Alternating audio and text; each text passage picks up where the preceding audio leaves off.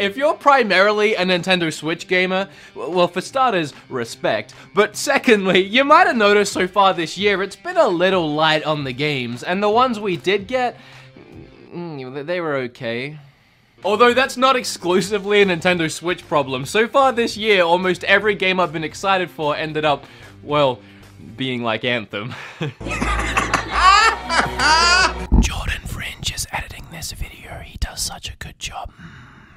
such a beautiful man. Make sure to subscribe to Jordan Fringe. But getting back to the Switch, if you're like me, you're probably holding out for that Yoshi at the end of the month. And you might be looking for something to play to hold you over until then. And it might surprise you to find out you don't actually even have to take your wallet out of your pocket to download and play a brand new exciting game on your Switch. Oh shoot, that's my oven. I'm actually cooking something right now. I, I, hold on, I'll be right back. Mmm, if this was really hot, that would be really burning my hand. I'm still doing keto, but Kim loves KFC, so using Skillshare, I learned how to cook the perfect KFC recipe. That probably looks really gross, but I'm sure it tastes great. Skillshare is an online learning community for creators with more than 25,000 classes in design, business, video editing, video production, and more. You can even learn how to create gaming content for YouTube if you want to start your own channel. The premium memberships give you unlimited access so you can join the classes and communities that are right for you. Kim, dinner's ready. So if you want to learn to cook like I did, here are some courses you might enjoy. It's really cheap to sign up, only $10 a month, and if you're a cheapy cheapskate like I am, and you probably are, otherwise you wouldn't be watching this video about free games, 500 of you guys, 500 of my subscribers get their first two months free by clicking that specific link down in the description. You got any mashed potatoes? Oh, your mashed potatoes, right. Uh, they're just, uh, in here. Hang on a minute. Um, What? Eat your trough of food. it looks like a dog food bowl. Look at this. Thanks to Skillshare for sponsoring the video. Alright, I'm gone, bye. Can't wait to eat that meal that I totally prepared later on this evening. Okay, where was I? Oh yeah, free Switch games. In fact, the eShop has a load of free games you can play, and some of them aren't terrible, and these are those ones. 10 free games on the Nintendo Switch worth buying. Actually, it's 11, but 10 sounded better in the title. Why am I still holding Travis? Get out of my life. With all that being said, shut up, sit down, and let's talk about a bunch of free games on the Switch. What do you got to lose? They're free, okay? Let's get started. Sorry I said shut up, I got carried away. the first free game on the list today is Fortnite. And the next free game is Pokemon Quest. Can I breeze past it that quickly? I'll just say one thing about it. I'm not to talk about the game itself. Y'all know what Fortnite is, but it is a perfect example of something I wanted to bring up. Most of the games on this list today do not require you to spend any money in them to have fun. If you're looking to play one of these free games, your credit card will not need to go anywhere near the Switch at any point in time. It can, it definitely can. I mean, that's how these games survive. It's by other people pumping money into it, but that's not your problem. What other people do with their money is their problem. If they want to spend money on Fortnite, they can. If they want to spend money sending me fan mail, they can also do that. If they want to spend money on my Patreon, www.patreon.com forward slash beat'emups, they can do that too. That's not your problem, it's theirs so stop complaining about it. But my point is, Fortnite is a perfect example of a game that you do not ever need to spend money on. The only thing you'll get by throwing money at it is cosmetic stuff, so you can literally enjoy the full game for free. However, and this goes for any of the games on the list, if you have a small child playing these games, you might want to make sure that it's not easy for them to start buying stuff on your credit card, because it'll happen. Whether they mean to do it or not, these games will trick them into it, so be careful. That goes for all of these, but especially Fortnite. you can get dogs in backpacks. I mean, at some point, you just gotta buy stuff.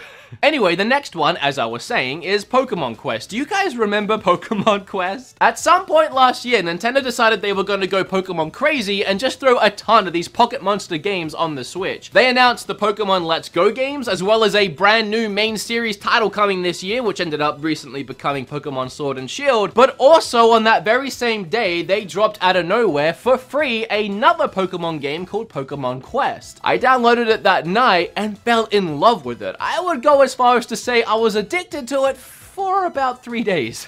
and I mean, I loved it. It was like three straight days if I just couldn't put that thing down. There was just so much that just kept me playing. I really enjoyed the strange combat, the weird level designs, and the randomness of maybe getting a shiny Pokemon stroll up to your camp. There's something about this game that's like a weird phenomenon. Is that how you pronounce that? Phenomenon. And I've played games like this before that have the same phenomenon. No, I can't do it a second time. If it was even right the first time. It's a mysterious thing about the game that when you're playing it, you just keep wanting to play it. Like another level and another level. You just get addicted and it's just fun to keep playing. But as soon as you stop playing and you take a breather from the game, maybe even for a day or two, there's almost nothing driving you back to the game. You have so many other things that are probably better than that that you want to play instead. For free, it's absolutely worth it. All I can say is if you're enjoying it, keep playing it and don't stop because as soon as you do, you might not play it again.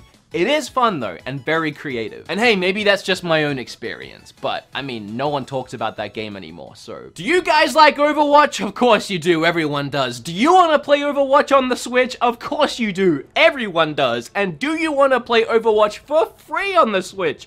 Of course you do, everyone does but you can't.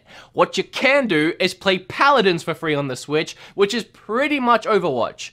Just not as good, but still good. no, in all seriousness, Paladins is a really, really fun game. You can actually buy the game for 30 bucks and you'll unlock all the characters and just everything that goes along with it, or you can just download it for free, have a few characters, and as you play, you unlock more. If you haven't played Paladins before, or Overwatch before, or a game like this before, this is the easiest way I can explain it. Assuming you've played a MOBA before, like League of Legends or Dota, and then you wrap it all in a very bright, bubbly, and cartoony skin with over-the-top, crazy, wacky characters, and you have a first-person shooter with a ton of different abilities and an ultimate ability that looks really cool and it's really fun to play. And unlike Pokemon Quest, this is a game you'll keep coming back to, assuming you enjoy it, which I do. It's easy to pick up and play a few rounds whenever you want, and it's always a fun time. It's the kind of game where even if your team is losing, you can still have fun. Of course, if you keep losing, it becomes not fun pretty quick, but you can still have fun. Oh, and while we're on the subject of MOBAs, I may as well talk about the next two games, the first of which being Smite. Now, recently I made an entire video about Smite because I really like the game, and I actually really like how that video turned out. I talked about my favorite things about the game, some of my favorite characters, and even broke down how to play the game. And I did that because the game is so convoluted with so many moving gears and parts, it takes a while to get your head around it and even learn some of the basics. So if this game does interest you, I would recommend going and checking out my video, which I'll leave in the description down below. But essentially, it's a MOBA, again like League of Legends and Dota, but played in third person. It's a really interesting concept, and again, I like it a lot. Obviously, it's free, or else it wouldn't be on this list, but you can also buy it, and it's the same deal as Paladins, where one way you have all the characters unlocked, and the other way you have to earn them. And we've gone from Pokemon Quest, a game that's a little addicting, but you might forget it, To Paladins, a game that's, you know, somewhere in the middle, you'll pick it up every now and then, To Smite, a game where you can easily spend hours and hours and hours just in one session, because each game can last about an hour, and you won't ever stop at just one game, and then you'll come back the next night and the next night. If you think you can handle it, there's a ton of fun to be had in Smite for free. And the next free MOBA is Arena of Valor. Now, I haven't actually played this one. It looks like a more traditional MOBA, again, like the two that I keep mentioning, Dota and League of Legends, where it's more akin to a top-down strategy style game. And if you're into the more classic style MOBAs, Arena of Valor might be better for you than Smite. But what would I know because I haven't played it? I just heard a lot of really great things, and it's free.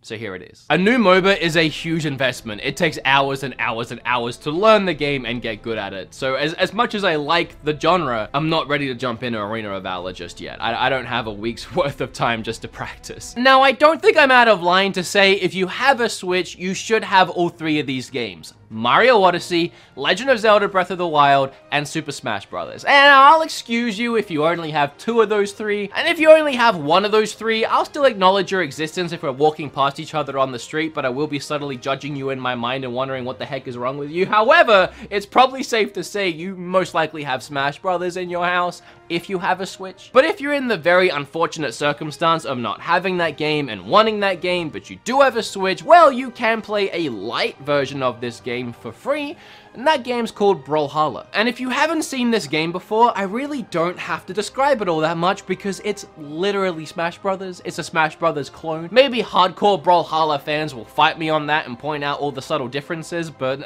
I played it. It's it's Smash Brothers. It it wants to be Smash Brothers. It has its own personality for sure. It's just it's just it's a it's a not as good Smash Brothers Smash Brothers game, but it's free and it is good. I, I don't want to take that away from it. If Smash Brothers was never a thing and just Brawlhalla was, it would be a hit for sure. It's just Smash Brothers is a thing.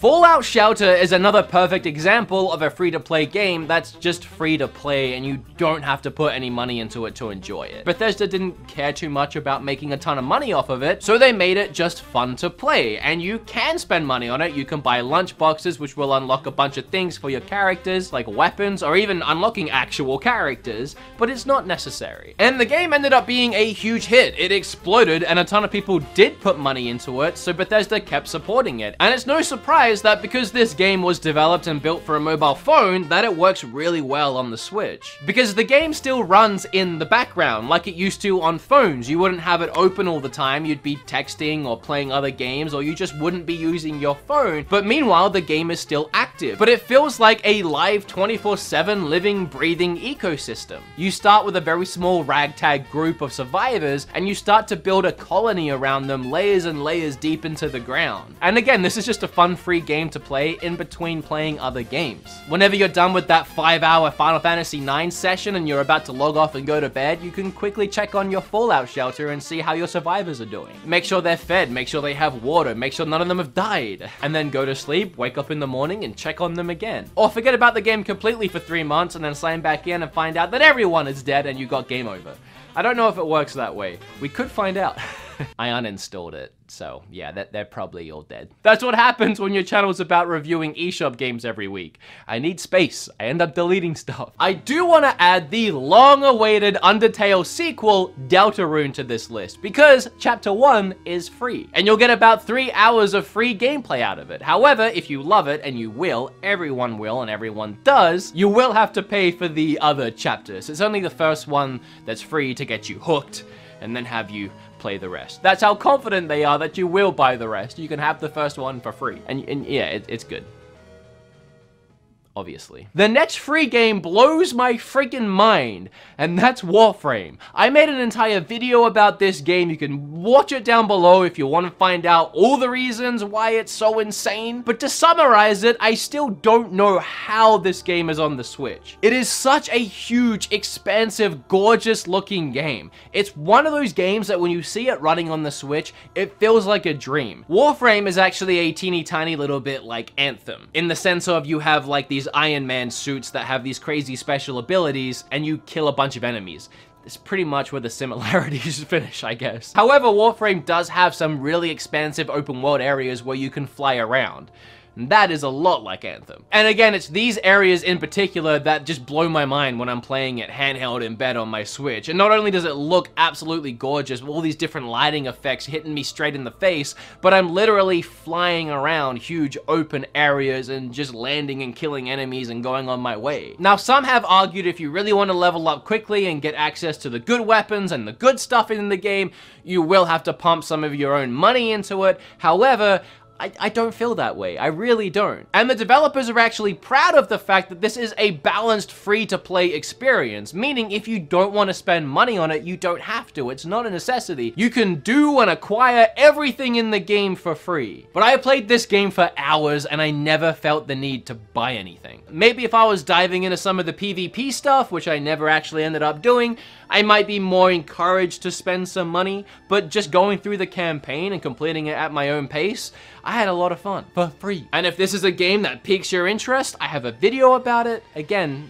down below. The last two free games are actually like way more than two games technically, but you also kind of have to pay for it, but they are free. What do I mean by that? well, to access any of the games I'm about to talk about, you do have to buy the Nintendo Online service, which is 20 bucks a year, so really not that bad at all. Or if you do it monthly, I think it's like 3 or 4 bucks a month. A really, really cheap online service, and if you think about it, you kind of need it anyway to play online. Like if you want to play Smash online, or Splatoon online, or Mario Kart, or really it, just anything. So once you have it, here are the free games you can play. The first one being the multiple of ones, which is the Nintendo Online service itself, will give you access to a load of classic NES games. And I'm sure as we're all aware by now, because I'm really late to the news, Nintendo also just announced that Super Nintendo games, Game Boy Advance games, and GameCube games are coming to this service later this month. Nope, I'm lying. Sorry to get your hopes up. Remember to smash that like button. I really do want that to happen, but yeah, I was lying. Sorry. We do have NES games though. There are some good ones on there. There are some bad ones on there, but they're all free. And you might have guessed it, but my favorite free game on Switch, Tetris 99. I love this game, man. It's just Tetris. Like, Tetris has always been fun, but with the added excitement of playing against 98 other players at the same time competing to be number one in what is by far the best Battle Royale game anyone has ever made, it just makes this game priceless, and it's free. What a combo. Every time I make one of these list videos, I blow myself away with the quality of games that are on the Switch. Like when I make my eShop videos every month or so, I'm like, how are there 10 more great games to go out and buy? And when I had the idea to look at how many great free games were on the Switch, I was amazed that I managed to get 10 so easily. We recently celebrated the two year anniversary of the Switch, and I cannot believe how far this system has come. From all its amazing free games to just the eShop in general, and then the insane physical library that's building up at a game store near you. I've said it before and I'll say it again, I adore Nintendo and I adore this stupid little system so much. As always, if you like this video, remember to like it. If you learned a little something, make sure you hit flip all over that subscribe button. I have a load of other social medias I never promote, so please check the links down below. There's everything from Twitter to even a subreddit, which I started recently. Discord. Does Patreon count? Because that's down there. And I would just love if you became more active within my community. It would mean the world to me.